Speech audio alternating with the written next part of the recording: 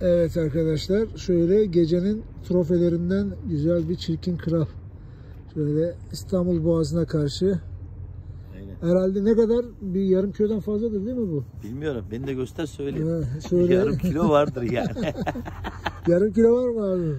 Ballı gözüyle var abi. Değil mi? yoksa 350 gramı var. Maşallah ya. Buradan bir bakayım. Var var. Güzel. Güzel balık. Şunlara dikkat ediyoruz. Aynen. Bakın şunlar arkadaşlar.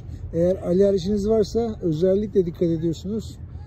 Çarptığı zaman maazallah yani Hadi size eyvallah.